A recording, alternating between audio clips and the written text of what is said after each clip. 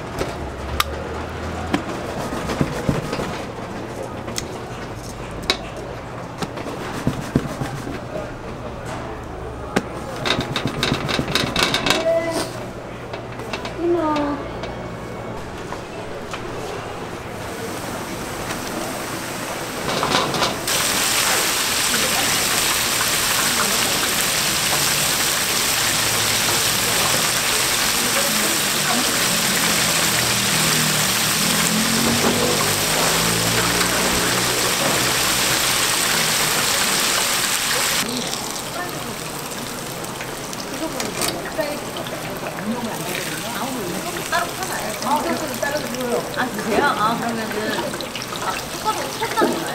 섞어는 안 되고 진짜 프라이드 스테이크 색깔이 있거든요. 따로 하나? 그러니까 종류가 있잖아. 뭐 하나 넣어야 되는 거 아니야?